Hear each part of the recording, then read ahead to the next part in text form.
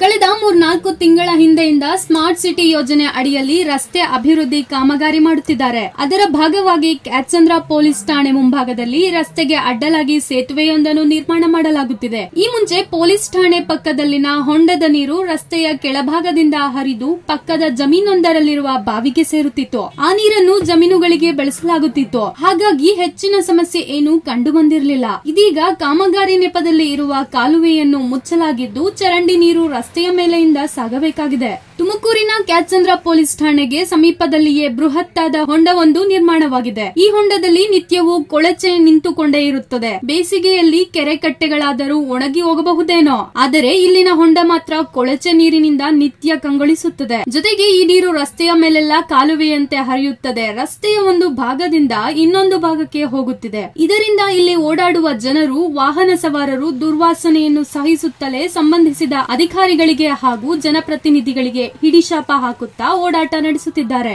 ಈ ಪ್ರದೇಶವು ತುಮಕೂರು ಮಹಾನಗರ ಪಾಲಿಕೆ ಮೂವತ್ತ ನಾಲ್ಕನೇ ವಾರ್ಡ್ ವ್ಯಾಪ್ತಿಗೆ ಒಳಪಟ್ಟಿದೆ. ತುಮಕೂರು ಮಹಾನಗರ ಪಾಲಿಕೆ ನಗರವನ್ನು ದುರ್ವಾಸನೆ ಬೀರುವ ನಗರವನ್ನಾಗಿಸಿರುವುದು ಇಲ್ಲಿನ ಜನರ ದೌರ್ಭಾಗ್ಯವೇ ಸರಿ. ಇಲ್ಲಿ ಉಂಟಾಗಿರುವ ಅವ್ಯವಸ್ಥೆಯಿಂದ ಜನರು ನೆಮ್ಮದಿಯಾಗಿ ಉಸಿರಾಟ ನಡೆಸಲು ಸಾಧ್ಯವಾಗುತ್ತಿಲ್ಲ. ಯುಜಿಡಿ ನೀರು ಮೇಲೆ ಉಕ್ಕುತ್ತಿರುವುದರಿಂದ ಆ ಸ್ಥಳದಲ್ಲಷ್ಟೇ ಅಲ್ಲದೆ ಸುತ್ತಮುತ್ತ ದುರ್ನಾತ ಬೀರುತ್ತಿದ್ದು, ಈ ಭಾಗದಲ್ಲಿ ಸಾರ್ವಜನಿಕರು ಸಂಚರಿಸಲಾಗದ ಸ್ಥಿತಿ ನಿರ್ಮಾಣವಾಗಿದೆ. ಈ ವಾಸನೆಯಿಂದ ರಾತ್ರಿ ಹೊತ್ತು ಮನೆಯಲ್ಲಿ ನಿದ್ದೆ ಮಾಡಲು ಕೂಡ ಆಗುತ್ತಿಲ್ಲ. ಬಾಗಿಲು ತೆರೆದರೆ ಸಾಕು, ಗಬ್ಬು ವಾಸನೆ ಮೂಗಿಗೆ ತಾಕುತ್ತದೆ ಈ ಸಮಸ್ಯೆ ಸರಿಪಡಿಸಲು ಜನಪ್ರತಿನಿಧಿಗಳಿಗೆ, ಅಧಿಕಾರಿ ವರ್ಗದವರಿಗೆ ತಿಳಿಸಿದರೂ ಯಾರೂ ಇದರ ಬಗ್ಗೆ ಗಮನ ಹರಿಸುತ್ತಿಲ್ಲ. ಪಾಲಿಕೆಯ ಅಧಿಕಾರಿಗಳು ಹಾಗೂ ಇಲ್ಲಿನ ಕಾರ್ಪೊರೇಟರ್ ಈ ಸಮಸ್ಯೆಯನ್ನು ಗಂಭೀರವಾಗಿ ತೆಗೆದುಕೊಂಡು ಆದಷ್ಟು ಬೇಗ ಕಾಮಗಾರಿಯನ್ನು ಕೈಗೊಳ್ಳುವುದರ ಮೂಲಕ ಸಮಸ್ಯೆಯನ್ನು ಬಗೆಹರಿಸಿ ಸಾರ್ವಜನಿಕರಿಗೆ ಆಗುತ್ತಿರುವ ತೊಂದರೆಯನ್ನು ತಪ್ಪಿಸಬೇಕಾಗಿದೆ ಎಂಬುದು ಸ್ಥಳೀಯರ ಒತ್ತಾಯವಾಗಿದೆ.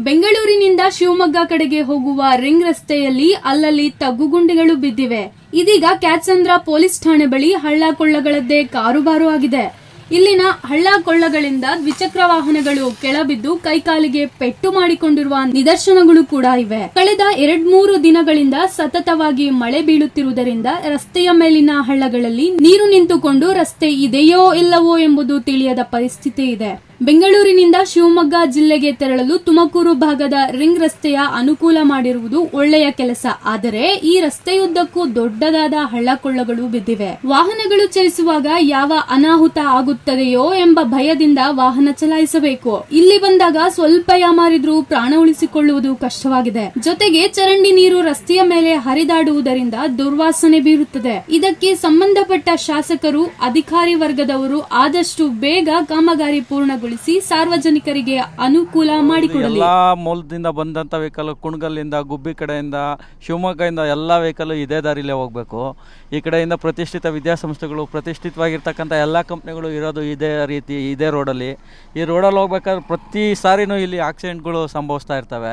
ಇದ್ರ ಬಗ್ಗೆ ಮಾನ್ಯ ಶಾಸಕರು ತುರ್ತಾಗಿ ಗಮನ ಹರಿಸಿ ಇದನ್ನು ತುಂಬ ಜರೂರಾಗಿ ಈ ಕಾರ್ಯನ ಮುಗಿಸ್ಬೇಕು ಅಂತ ಹೇಳಿ ಅವರಲ್ಲಿ ಕಳಕಳಿಯಿಂದ ಮನವಿ ಮಾಡ್ತಾ ಇದ್ದೀನಿ ಸರ್ ನಾನು.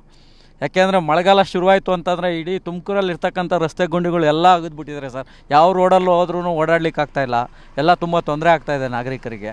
ಕಳೆದ ಮೂರ್ನಾಲ್ಕು ತಿಂಗಳಿಂದ ಸೇತುವೆ ಕಾಮಗಾರಿ ಪ್ರಾರಂಭ ಮಾಡಿದ್ದಾರೆ. ಅದೇ ವೇಳೆಗೆ ಪ್ರಾರಂಭ ಮಾಡಲಾದ ಕಟ್ಟಡಗಳ ಕಾಮಗಾರಿ ಮುಗಿಯುತ್ತಾ ಬಂದಿದೆ. ಆದರೆ ಈ ಸೇತುವೆ ಕೆಲಸ ಮಾತ್ರ ನಿಧಾನಗತಿಯಲ್ಲಿ ನಡೆಯುತ್ತಿದ್ದು, ನಿತ್ಯ ಒಂದಲ್ಲ ಒಂದು ಅನಾಹುತಗಳು ನಡೆಯುತ್ತಿವೆ. ರಸ್ತೆಯ ಮಗ್ಗುಲಲ್ಲಿಯೇ ದೊಡ್ಡದಾದ ಹೊಂಡ ಇದ್ದು, ಇಲ್ಲಿ ಕೊಳಚೆ ನೀರು ಸೇರಿಕೊಂಡು ದುರ್ವಾಸನೆ ಬೀರುತ್ತಿದೆ. ಕಾಮಗಾರಿ ಮಾಡುವವರು ಮೋಟಾರ್ ಹಾಕಿ ನೀರು ಎತ್ತಬೇಕಾಗಿತ್ತು. ಪ್ರಾರಂಭದಲ್ಲಿ ಎರಡು ಬಾರಿ ನೀರನ್ನು ಎತ್ತಿ ಹಾಕಿದ್ರು. ನಂತರ ಆ ಕಾರ್ಯ ಮಾಡಲೇ ಇಲ್ಲ. ಈಗ ಯುಜಿಡಿ ನೀರು ಹೊಂಡಕ್ಕೆ ಸೇರಿಕೊಂಡು ಮತ್ತಷ್ಟು ಸಮಸ್ಯೆಯನ್ನು ಉಂಟು ಮಾಡಿದೆ. ಇದು ಅಲೆ ಎರಡೂವರೆ, ಮೂರು ತಿಂಗಳಾಯ್ತು ಕೆಲಸ ಸ್ಟಾರ್ಟ್ ಮಾಡಿ.